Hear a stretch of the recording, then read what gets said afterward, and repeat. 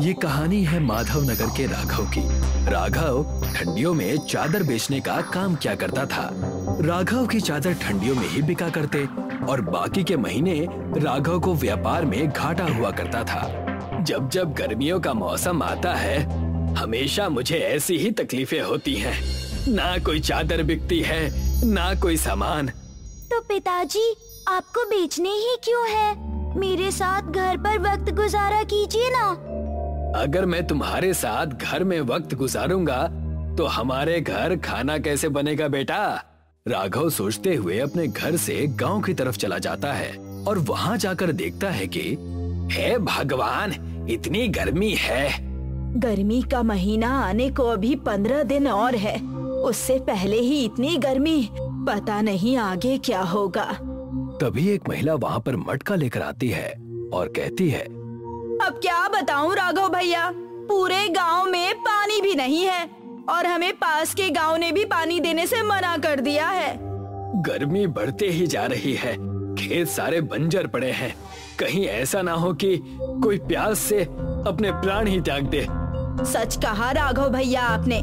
कुछ ना कुछ तो गाँव की सुरक्षा के लिए सोचना ही होगा। और तो और हमारे गाँव के पशु भी पानी के बिना प्यासे रह रहे हैं। मेरे घर पर थोड़ा सा पानी रखा हुआ है। मैं उन पशुओं को पिला देता हूँ। उससे कम से कम उनकी दुआएँ तो लगेंगी।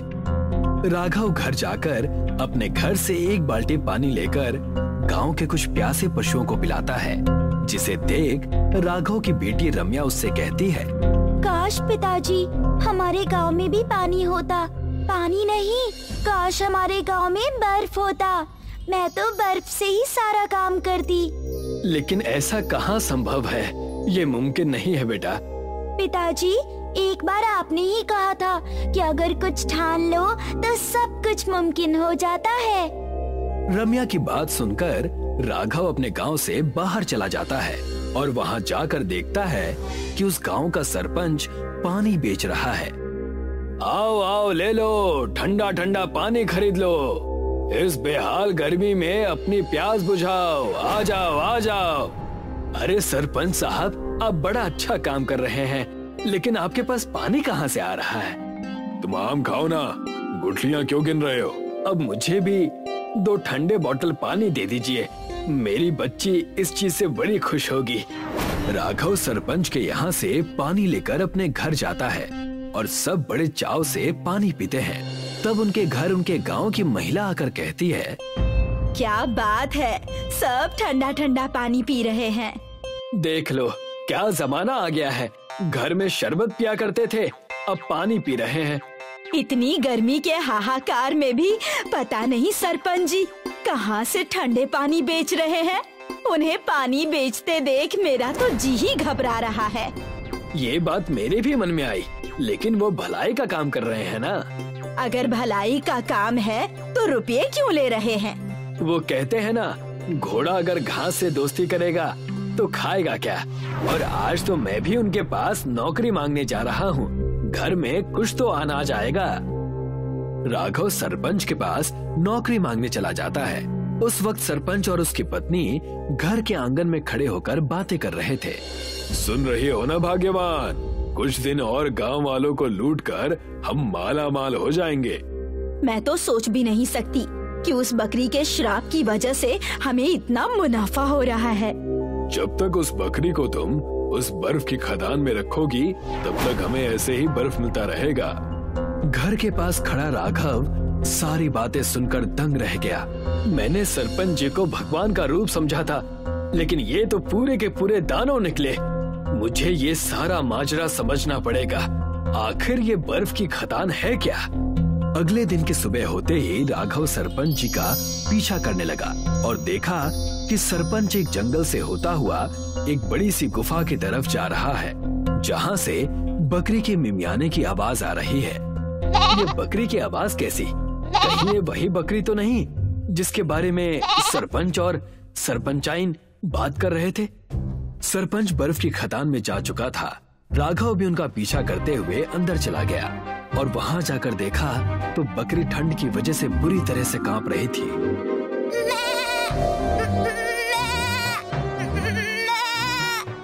तुम चाहे जितनी भी मिमिया लो मैं तुम्हें बाहर नहीं निकालने वाला।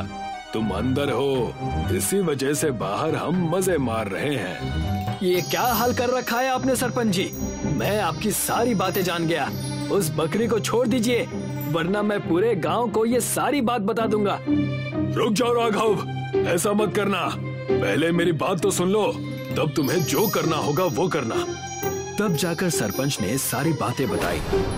मैं और मेरी पत्नी एक बार जंगल में जा रहे थे, तब एक साधु बाबा इस बकरी को लेकर खड़े थे। बालक, मेरी बकरी प्यास से जूझ रही है, क्या तुम इसे पानी पिलाओगे? जी, ये लीजिए। लेकिन मेरे पास सिर्फ़ थोड़ा सा ही पानी बचा है। बालक, तुम्हारे पास जितना है, उतना ही पिला दो। कोई बात नहीं। और जैसे ही मैंने उन्हें पानी पिलाया, उस साधु ने मुझे आशीर्वाद दिया और कहने लगा, इस जंगल के पास वाली गुफा बर्फ़ की हो जाएगी, लेकिन तुम्हें मेरी इस बकरी को पालना होगा। और अगर तुम इस बकरी को बाहर लेकर आए तो बर्फ़ की खदान मिट्टी की हो जाएगी। और तुम्हारी पत्नी पर धर्म संकट आ जाएगा। इस बकरी की देखभाल तुम्हें तब तक करनी है जब तक मैं हिमालय से जड़ी बूटियाँ लेकर वापस नहीं आ जाता। इतना कहकर वो साधु बाबा वहाँ से अदृश्य हो गए। सरपंच की बात सुनकर राघव भी सहम गया और सरपंच से कहने लगा ये आप क्या कर रहे हैं? इस बकरी की जान हमें बचानी होगी। ज़्यादा दिन बर्फ़ में रहने से भी तो उसकी मौत हो सकती है। इसे बाहर ले चलिए। नहीं ऐसा मत करो। मेरी पत्नी की जान खतरे में आ जाएगी। मैं तुम्हारी एक नहीं सुनने वाला। मुझे इसे ले जाने दो। राघव सरपंच को धक्का देकर उस बकरी को बाहर लेकर चला गया। जैसे ही राघव बाहर गया पूरी बर्फ़ की खदान मिट्टी की हो गई। ठंड के कारण बकरी काँप रही थी। राघव ने उसे धूप में खड़ा किया ताकि उसे थोड़ी गर्मी लगे। और जैसे ही बकरी को गर्म हवा लगी बकरी खुद से कहने लगी। राघव मुझे बचाने के लिए धन्यवाद। मैं एक मायावी बकरी हूँ। तुमने मुझे बचाया इसलिए मैं तुम्हें एक वरदान दे रही हूँ। तुम बोल कैसे रही हो? और तुम्हें मेरा नाम कैसे पता है?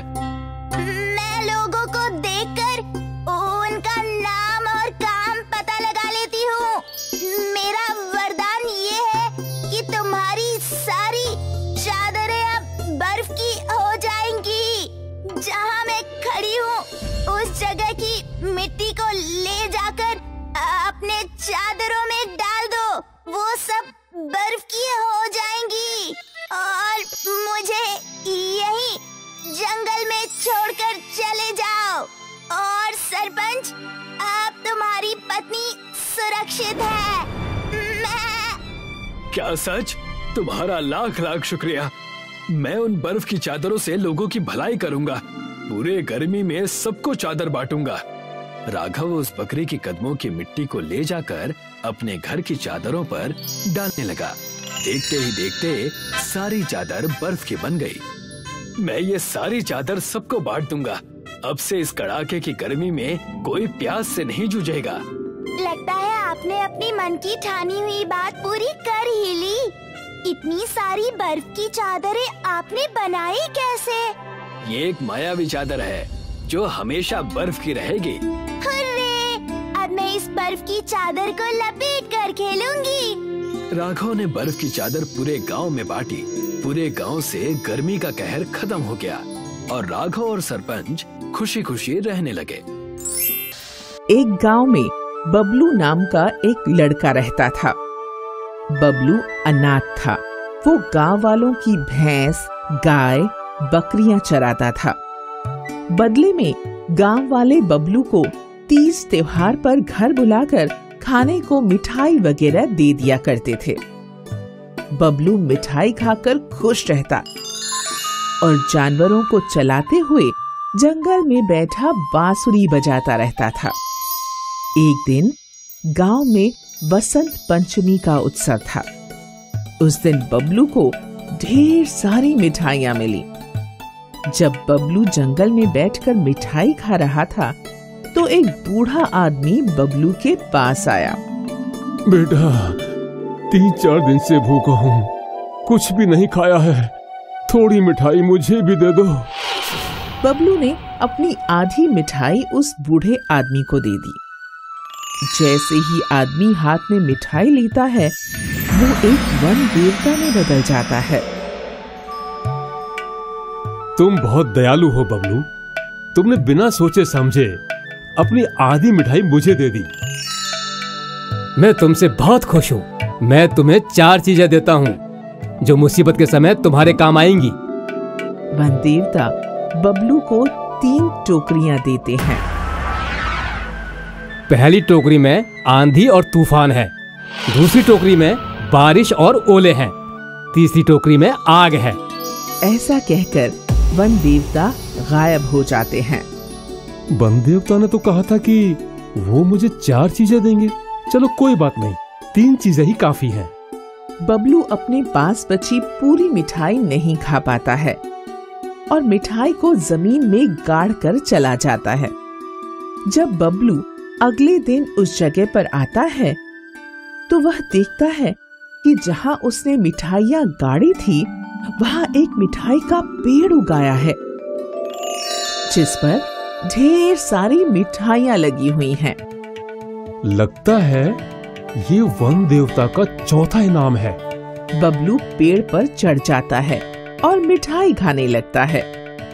उसी समय जंगल से एक बूढ़ी राक्षसी गुजर रही थी। उसने बबलू को देख लिया। अरे आज तो बहुत बढ़िया शिकार मिला है। इसकी तो मैं मसालेदार सब्ज़ी बनाकर खाऊँगी। लेकिन पहले इसे पेड़ से नीचे उतारना होगा।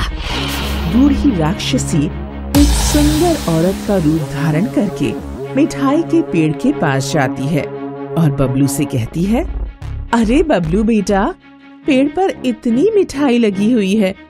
अगर तू थोड़ी मिठाई तोड़कर मुझे भी दे देता तो मैं भी खा लेती।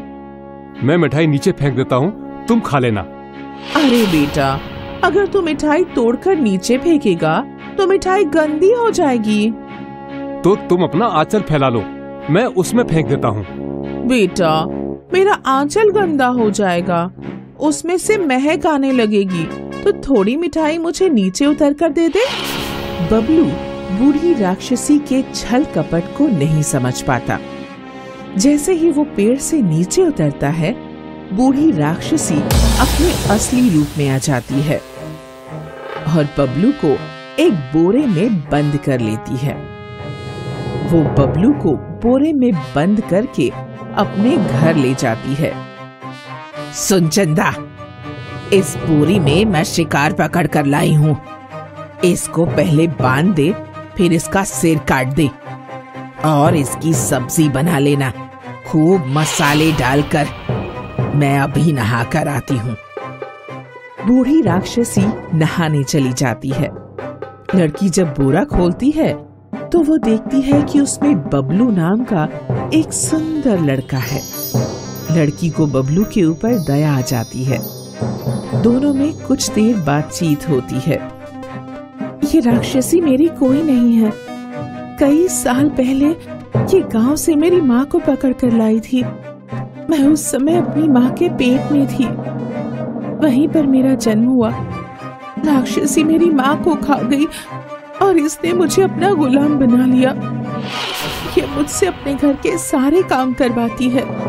बबलू और चंदा मिलकर राक्षसी के घर से भाग जाते हैं।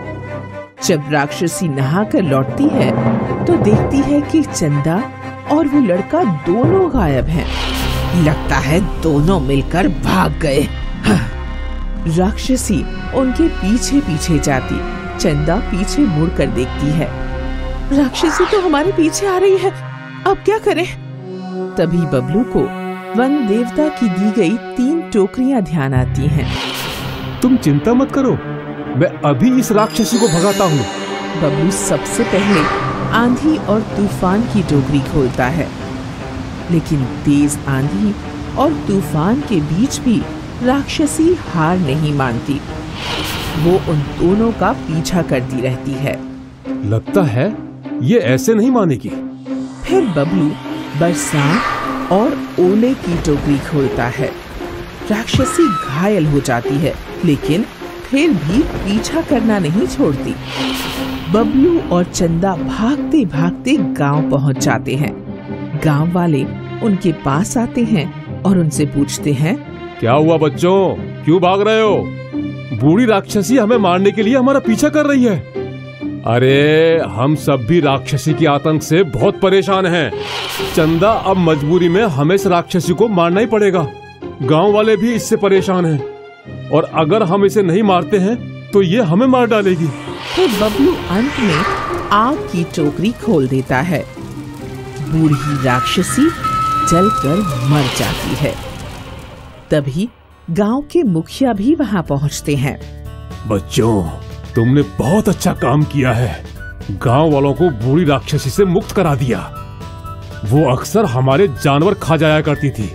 इनाम के रूप में मैं तुम्हें एक घर दे रहा हूँ।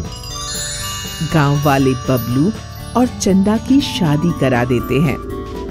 फिर बबलू और चंदा घर बसाकर खुशी खुशी रहने लगते हैं। सुल्तानपुर के गाँव में दिलशेर और शमशेर दो भाई रहा करते थे। इनके पिता जमींदार थे, इसलिए दोनों के पास करोड़ों की संपत्ति थी। यही संपत्ति दोनों भाइयों के बीच झगड़े की वजह बन जाती है। दिलशेर की पत्नी स्वभाव में तेज तर्रार है। दिलशेर हमेशा अपनी पत्नी का कहना मानकर उसे खुश रखने की कोशिश करता है। दिलशेर के दो बच्चे हैं, जिनमें एक बेटा सात साल और एक बेटी पाँच साल है। दिलशेर का छोटा भाई शमशेर स्वभाव से सीधा और भाई का आज्ञाकारी है। शमशेर की अभी शादी नहीं हुई है। इसी का फ़ायदा उठाकर दिलशेर की पत्नी शमशेर को रास्ते से हटाकर उसकी संपत्ति पर कब्जा करना चाहती है। दिलशेर और पत्नी के बीच षड्यंत्र की रूपरेखा बन चुकी है। इसलिए शमशेर गाँव के बाहर एक जादूगर से मिलने जाता है। दिलशेर जादूगर की कुटिया में आया है। यहाँ जादू करने का सामान, जैसे खोपड़ी, काला कपड़ा रखा है और आग जल रही है। सोमरी खुश हुआ। तुम अपने भाई को रास्ते से हटाने आए हो? जादूगर सामरी, तुम तो सब जानते हो। हाँ मैं सब जानता हूँ। तुम अपने भाई को मारकर उसकी संपत्ति को हड़पना चाहते हो। सामरी, वो मेरा सौतेला भाई है, इसलिए मुझे उससे कोई हमदर्दी नहीं है। बताओ, मुझसे क्या चाहते हो? मेरे भाई शमशेर को। इस काम के लिए मुझे क्या मिलेगा? वो मांगी कीमत। ठीक है। ये जादुई राख धोखे से तुम अपने भाई को खिला देना वो आदमी से बकरा बन जाएगा। क्या कह रहे हो? क्या वो सच में बकरा बन जाएगा? हाँ और वो बकरा चालीस दिन में अपनी मौत मर जाएगा। लेकिन इसमें एक शर्त है। चालीस दिन तक तुम्हें बकरे को अपने पास ही रखना होगा। उसकी सेवा करनी होगी। उसे घास खिलाने के लिए गाँव से दूर जंगल ले जाना होगा। ये काम तो मुझे चालीस दिन तक करना होगा ना? हाँ तभी तुम अपने मकसद में सफल हो पाओगे। ठीक है, मैं ऐसा ही करूँगा। इसका इनाम तुम्हें मिल जाएगा। दिलशेर अपने भाई शमशेर को जादुई राग खिलाकर उसे बकरा बना देता है। शमशेर, जो अब बकरा बन गया है, वो अपने भाई के इस अत्याचार को चुपचाप सह लेता है। कोई शिकायत नहीं करता। शमशेर बकरा ज़रूर बन गया है, लेकिन वो अपने भाई से इंसानों की ज़ुबान में बात कर सकता है। दिलशेर की पत्नी शमशेर को बकरे के रूप में देखकर खुश होती है। दिलशेर बकरे को चारा खिलाने के लिए गाँव से बाहर लेकर जाता है। शमशेर, चलो जल्दी से चारा खाकर अपना पेट भर लो। भैया आपने ऐसा क्यों किया? मुझसे मेरी संपत्ति मांग लेते मैं कभी इनकार नहीं करता। ज़्यादा हरिश्चंद्र बनने की ज़रूरत नहीं है। चुपचाप घास खा और अपना पेट भर। क्या मुझे ज़िंदगी भर ऐसे ही बकरा बनकर जीना होगा? नहीं तुम्हारी कहानी जल्दी खत्म हो जाएगी। अम्मी शमशेर चाचा कहाँ है? कल से दिखाई नहीं दे रहे। तुम्हारे चाचा काम करने दूसरे गाँव गए हैं। अब वो यहाँ नहीं आएँगे। ये अपने घर में बकरा कहाँ से आया है? चुप रहो बेकार की बात नहीं करते।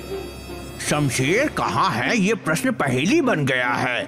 हम उसके पड़ोसी हैं। हमें हर बात की खबर रहती है। लगता है उसे संपत्ति के लालच में कहीं गायब कर दिया है। कुछ दिनों से दिलशेर के घर में एक बकरा आ गया है। भाई का गायब होना और बकरे का आना इसमें कोई रहस्य ज़रूर है।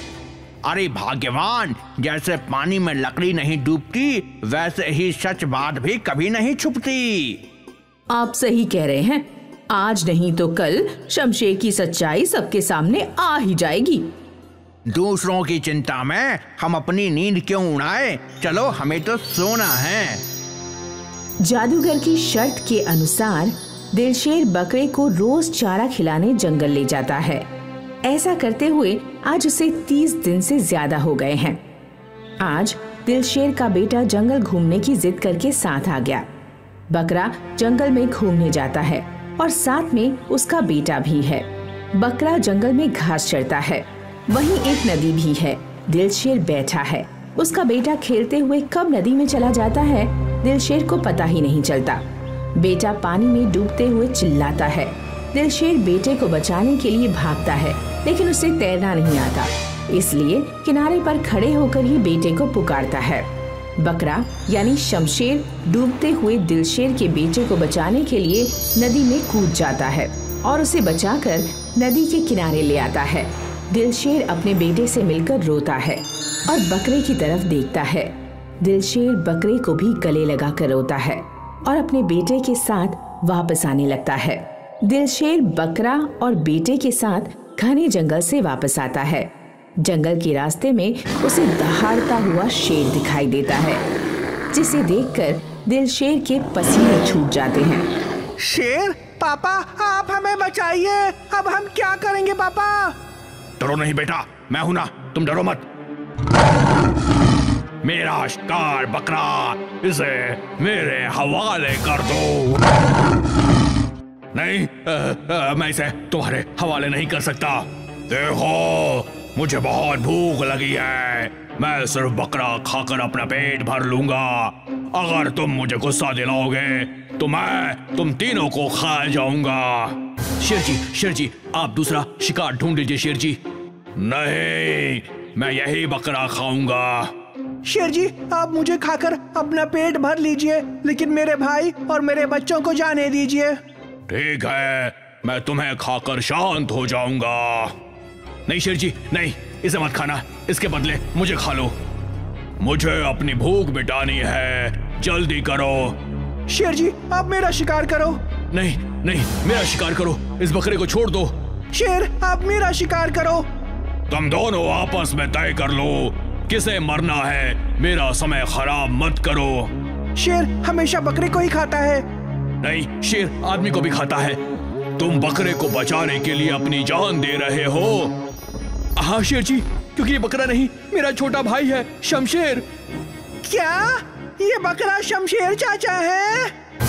ये बकरा तुम्हारा भाई कैसे हो सकता है?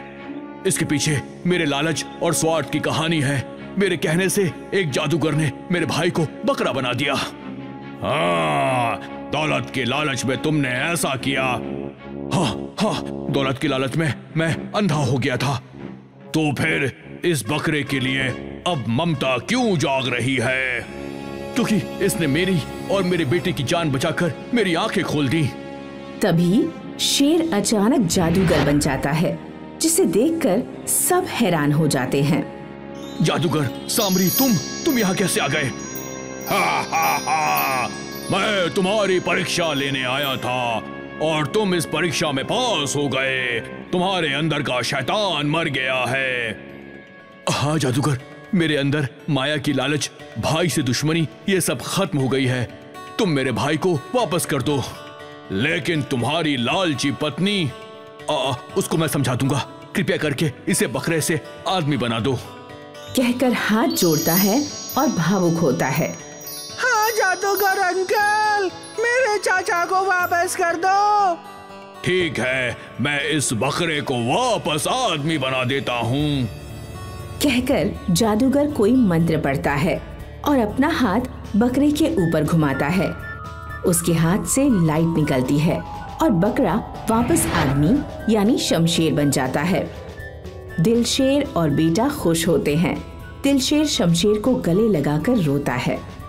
भाई मुझे माफ़ कर दो। भैया मुझे आपसे कोई शिकायत नहीं है। चाचा! सुबह का भूला अगर शाम को घर वापस आ जाए तो वो भूला नहीं कहलाता। अपने घर जाओ और ऐसे ही प्यार मोहब्बत से ज़िंदगी भर साथ रहना। शुक्रिया जादूगर।